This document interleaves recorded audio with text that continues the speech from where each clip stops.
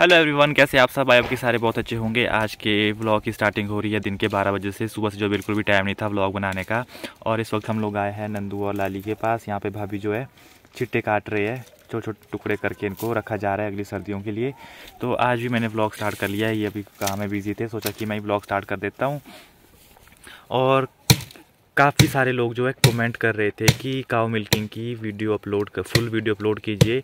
तो काव मिल्किंग की वीडियो जो है काफ़ी बार इस चैनल पर अपलोड हुई है तो आप जाके वो वीडियोस देख सकते हो और अब हम लोग जो है काव मिल्किंग की वीडियो अपलोड नहीं कर सकते हैं, क्योंकि लाली को जो, लाली जो है ड्राई पीरियड पर है मतलब इसको दूध से छोड़ दिया है।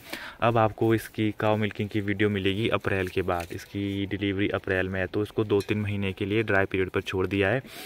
बाकी अभी इनको धूप में निकाला हुआ है आज धूप अच्छी निकली है बट वेदर चेक किया था, उसमें तो आज सिक्सटी सेवेंटी परसेंट बारिश थी बट बारिश का तो कोई आसार नहीं है क्योंकि मौसम देख सकते हो।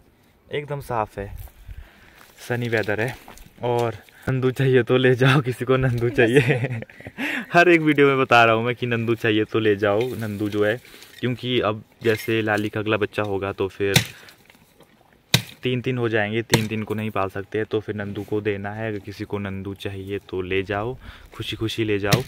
अगर नहीं चाहिए तो भी हम कुछ नहीं कर सकते हैं, और अगर किसी को गोबर चाहिए, वो तो ले जाओ।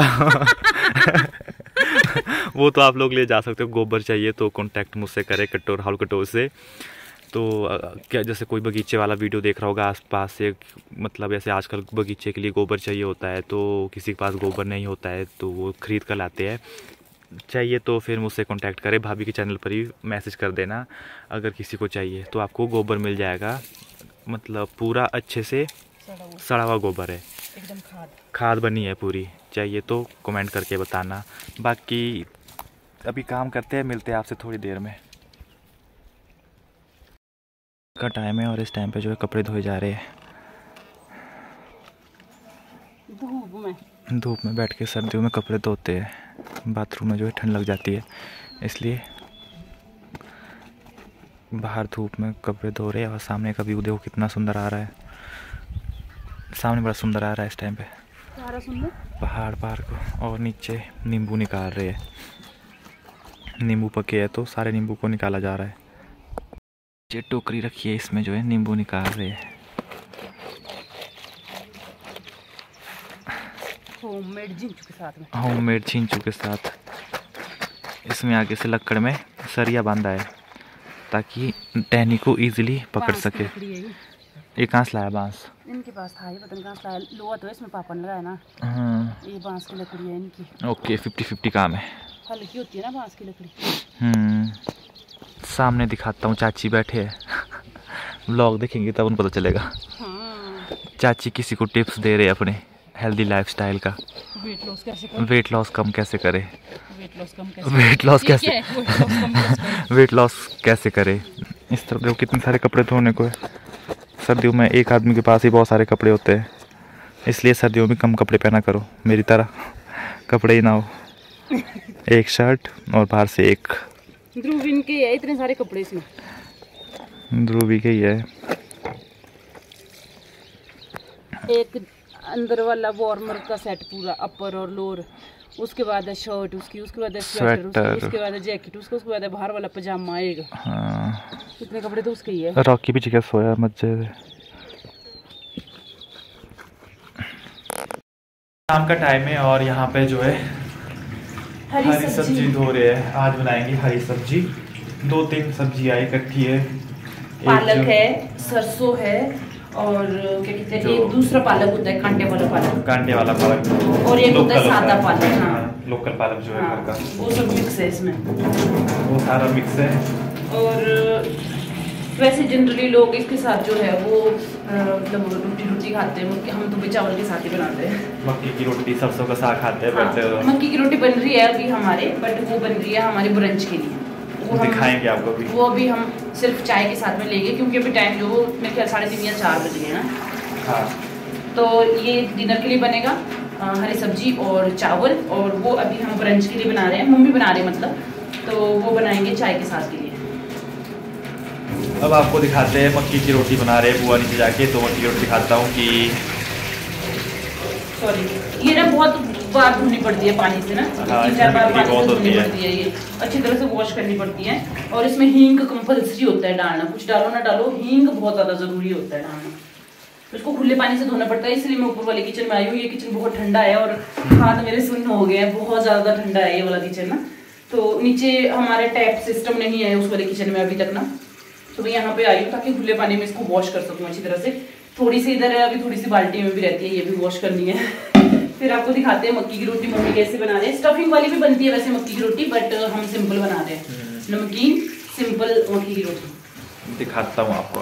यहाँ पे बन रही है मक्की की रोटी जो बना रहे हैं बुआ। ये रही चूल्हे के ऊपर। हो गई है तो। तो। मम्मी को बोलने का स्टाइल तो। पता नहीं लगता तेन। अल, अलग अलग क्यों बना रहे हैं आप इसको? क्या तो पूरा क्यों नहीं तो घूमते इसको। पूछ रहा हूँ ना रीजन। हैं। क्योंकि खराब हो जाता है ये। अगर इसको सारा सारा गूंद देंगे ना खराब हो जाता है सूखा पड़ जाता है ये। इसीलिए अलग अलग गूंद रहे इसको। ओके। फिर अंदाज़ा भी रहता है ना कितना पानी डालना है सूखा आटे की ज़रूरत हो तो वो भी यूज़ कर लेते हैं। अब इसको तवे के ऊपर ही बड़ा करेंगे। Niin, että liitet, ne så todutando. टूटती नहीं है ये। तो ये हम कल का लेकर आए हैं रामपुर से आटा। पंसारी के पास लाया आटा.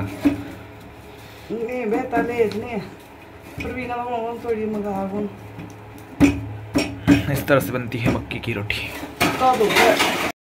जाली लगानी आपको आइडिया तो है। बीच में पत्थर डालने बस। हाँ अब चलाओ बोल बोल बोल। अच्छा अब चलाओ बोल रहा है। तेरी अच्छा बस ठीक है।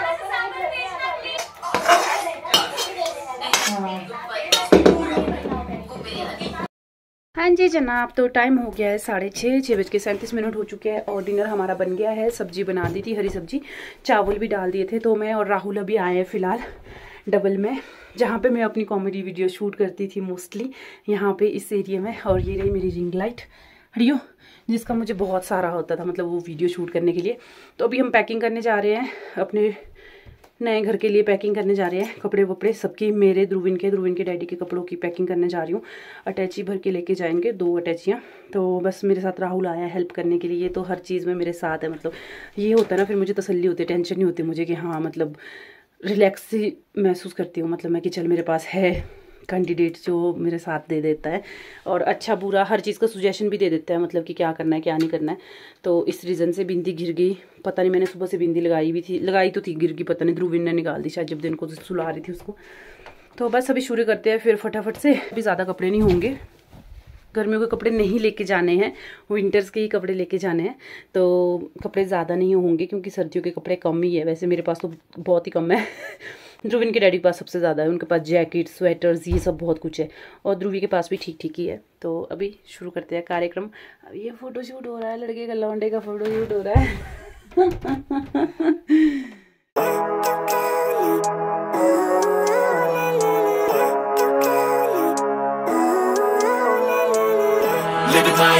every day, late at night, not okay.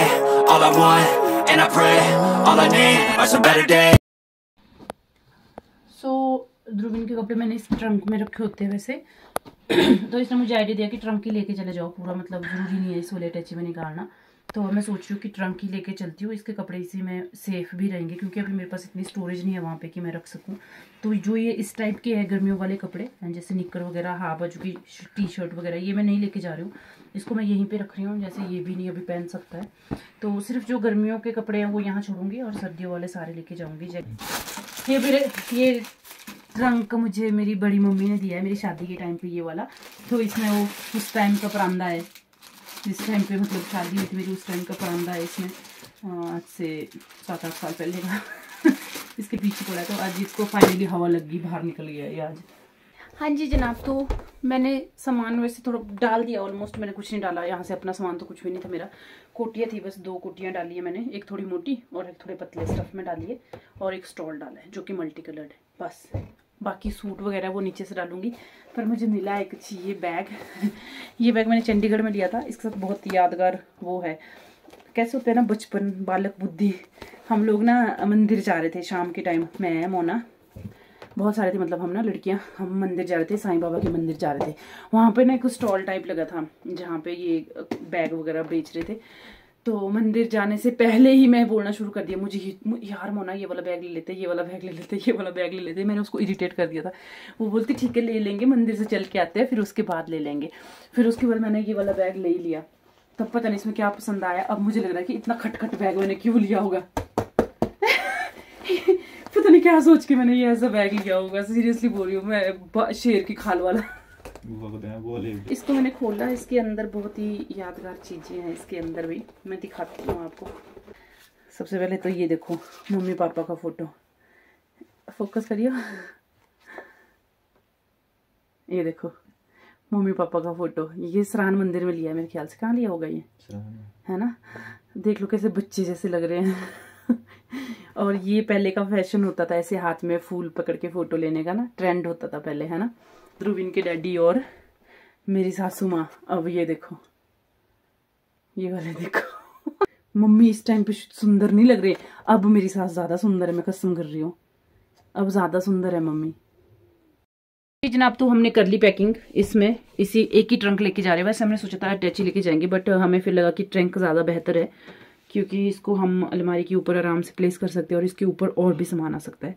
तो इसलिए हम सारा सामान इसी में भर रहे हैं। अभी फ़िलहाल इसमें सामान नहीं है। अभी इसमें सिर्फ़ ध्रुविन के कपड़े हैं और मेरी दो कोटियाँ हैं, बाकी कुछ नहीं है। अभी अपने सूट डालने बाकी रहते हैं इसमें। तो हमें मम्मी ने बोलना कि तुम्हें था अटैची भर लेना, तुम ट्रंक भर के आगे। हाँ जी जनाब तो इधर रख दिया मैंने ट्रंक इसमें थोड़े बहुत अपने सूट डाल दिए और, क्या कहते हैं स्लुक के डाल दिए एक दो। सबसे बड़ा टास्क है ये। ये कपड़ों का तो मुझे टेंशन ही नहीं है कि कपड़े मेरे पास मतलब ज़्यादा भी नहीं है, सच बोलूँ तो। टास्क है ये ये मेरा जो कॉस्मेटिक का सामान होता है और जो मेकअप का सामान होता है, सबसे बड़ा टास्क तो वो है कि इसको कहाँ ले जाएँ, कैसे ले जाएँ और रखे कहाँ। वहाँ पर मेरे पास प्रॉपर ऐसा ड्रेसिंग शीशा नहीं है। अगर ऐसा ड्रेसिंग शीशा होता तो मैं वहाँ रख सकती थी सब कुछ। तो मुझे इसके लिए अरेंज करना पड़ेगा कुछ और फ़िलहाल मैं सिर्फ़ और सिर्फ़ ये जो मेरी मेकअप रैक है, इसको लेके जाऊँगी, इसमें सारा सामान अपना भर दूँगी, जो जो मुझे ज़रूरी होगा, और यही एक लेके जाऊँगी, बाकी एक्स्ट्रा कुछ नहीं लेके जाऊँगी, क्योंकि इसको प्लेस करना ईजी है वहाँ पे ना शेल्फ के ऊपर भी रख लूँगी, अलमीरा के ऊपर रख लूँगी, कहीं भी रख लूँगी ईजिली से इसको हैंडल कर सकती हूँ मैं। तो बाकी सामान तो मुझे कुछ नहीं लेके जाना पड़ेगा सिवाय इसके तो अभी इसको मैं अरेंज करने लगी हूँ, सारा मोस्ट मोस्ट इंपॉर्टेंट इंपॉर्टेंट जो मैं यूज़ करती हूँ ना, वो सारा इसमें भर दूँगी, बाकी इधर ही छोड़ के जाऊँगी फिर। हर हफ़्ते आना जाना लगे रहेगा, कोई बड़ी बात नहीं है। Tata, bye bye see you soon like कर दो शेयर कर दो कमेंट करके बताओ वीडियो कैसी बनी है। और चैनल को सब्सक्राइब कर देना। Bye bye see you soon in next blog